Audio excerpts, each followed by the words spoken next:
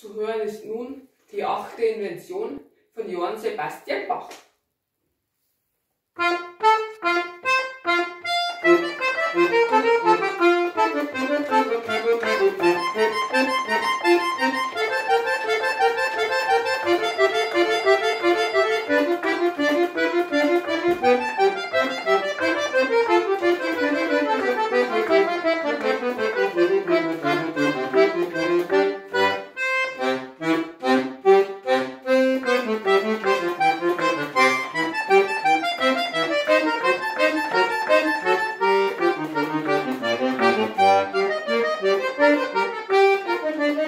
Thank you.